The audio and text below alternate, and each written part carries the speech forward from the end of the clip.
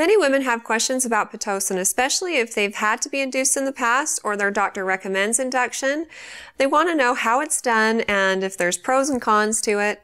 And um, there's two reasons to be induced. One is just for fun. It's called an elective induction, and they are only done after 39 weeks of pregnancy when your cervix has proven that it's ready to do this thing. And usually, if we start Pitocin, then your body will respond well and start contracting. And the reason why it works so well is because your brain, when you spontaneously go into labor, releases a hormone called oxytocin. And this acts on the uterus and tells it to contract.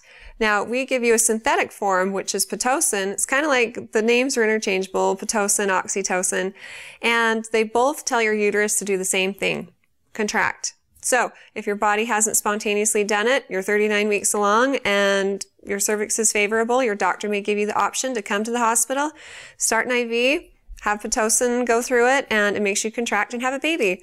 And this is perfectly fine.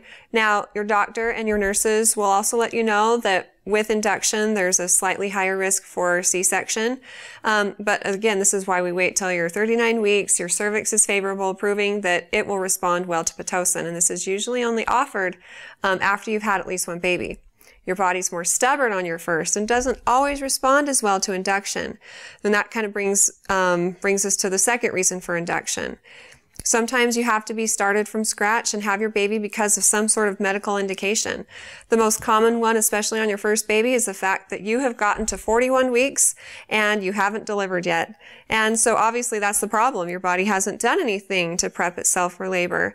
So oftentimes these inductions can be very long because we have to do what your body has not done and should have been doing over the period of days to weeks. We need to do that in a period of a day or two.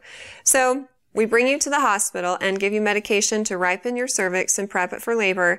And this can take as long as a whole night. And then the next morning we start Pitocin, cause your uterus to contract, and ultimately, hopefully you deliver vaginally. But again, with this, there's also an increased risk of C-section. There are other reasons to be medically induced, such as preeclampsia. Maybe you have an extra small baby that's not being fed as well by the placenta inside anymore. So it's been determined by your doctor and other specialists that the baby needs to be born. They'd be better outside.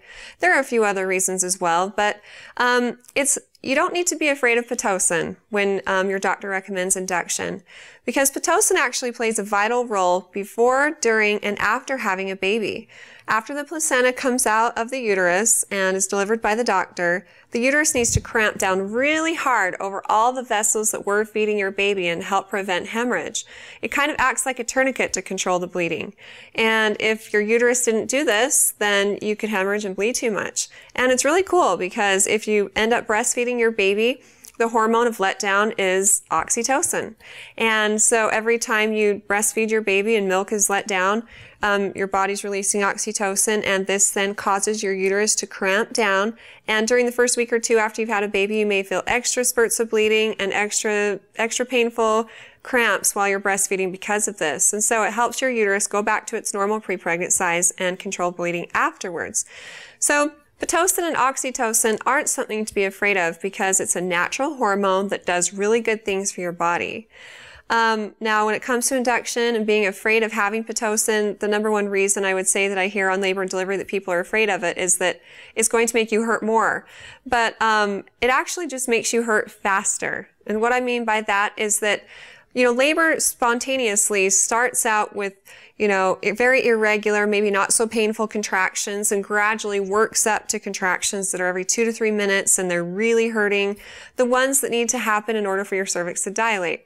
Um, now, if we start Pitocin on you, we may just take you from zero to 60 faster. And so you, you don't have as much time to kind of acclimate to the contractions you've been having. You kind of go from not hurting to hurting faster. And so it will make it feel like your labor is more painful when you have Pitocin. But again, like I said, it doesn't hurt more, it just hurts faster. If you have more questions about Pitocin and how um, your doctor may or may not use it during labor and delivery in your situation, be sure to ask them. But if you have any other questions for me, feel free to ask them on our Facebook page at facebook.com forward slash Intermountain Moms and recommend us to your friends and family too.